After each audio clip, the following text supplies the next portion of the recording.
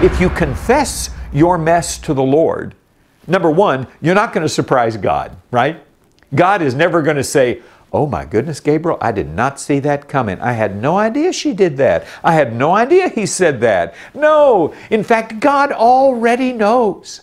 He's never surprised by my confessions to Him. And when I confess them to the Lord, I'm confessing them to someone who has already decided what He'll say back to me. He's not going to say, I'm so disappointed in you. He's not going to say, Well, seeing as you've done that, forget our relationship. No.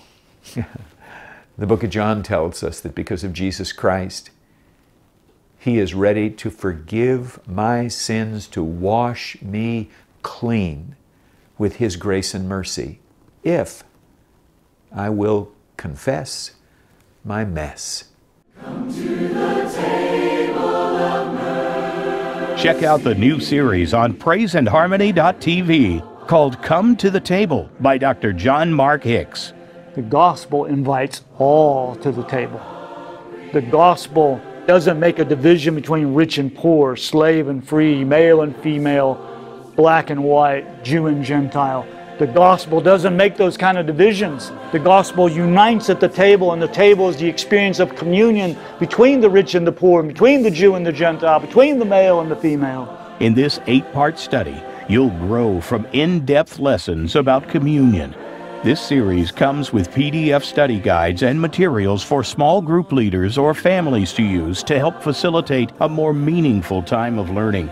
I like the way Luther put it when I am afflicted and Satan is assaulting me,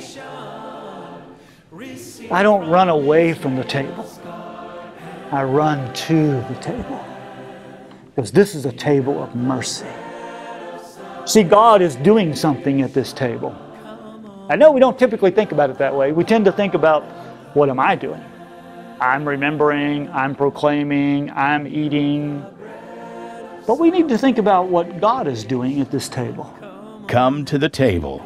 Available now at praiseandharmony.tv.